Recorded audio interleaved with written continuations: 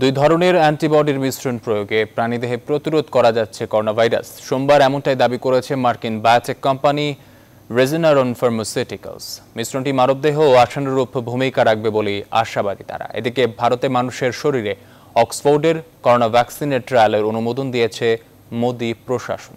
দেশের আরেকটি ঔষধ কোম্পানির সঙ্গে করোনার সম্ভাব্য ভ্যাকসিন উৎপাদনের চুক্তি করেছে অ্যাস্ট্রাজেনেকার অন্যদিকে, আগামী বছর থেকেই প্রতি মাসে কয়েক লাখ ডোজ করোনা ভ্যাকসিন তৈরি করা হবে বলে জানিয়েছে রাশিয়া। নেবির আমিনের ডেস্ক রিপোর্ট। শুধুমাত্র একটি নয়, এবার দুটো অ্যান্টিবডির মিশ্রণের মাধ্যমে বানর ও ইঁদুরের শরীরে করোনা ভাইরাস প্রতিরোধ করার দাবি করল রেজেনারন ফার্মাসিউটিক্যালস।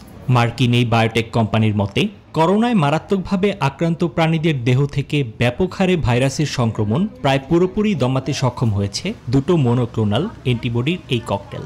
অদূর ভবিষ্যতে এই ককটেলটি মানবদেহেও কার্যকর হবে বলে আশাবাদী কোম্পানিটির শীর্ষ গবেষকরা। করোনা প্রতিরোধে মনোক্লোনাল অ্যান্টিবডি থেরাপির সাফল্যের ব্যাপারে অনেকটাই নিশ্চিত। যুক্তরাষ্ট্রের শীর্ষ সংক্রমণ রোগ বিশেষজ্ঞ ডক্টর অ্যান্থনি ফাউসি।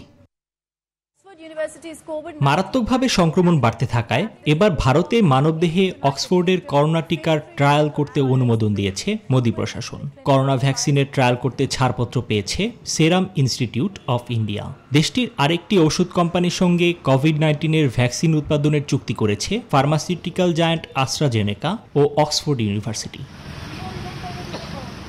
এদিকে প্রাথমিক হিসেব অনুযায়ী চলতি বছর কয়েক হাজার এবং আগামী বছরের প্রথম থেকেই প্রতি মাসে কয়েক লাখ ডোজ করোনা ভ্যাকসিন তৈরির কথা জানিয়েছে রাশিয়া। তবে রুশ শিল্প ও বাণিজ্যমন্ত্রী ড্যানিস মেন্তুরভ জানান স্বাস্থ্যসেবা ব্যবস্থার প্রয়োজনীয়তার ওপরেই নির্ভর করবে ভ্যাকসিনের সার্বিক উৎপাদন।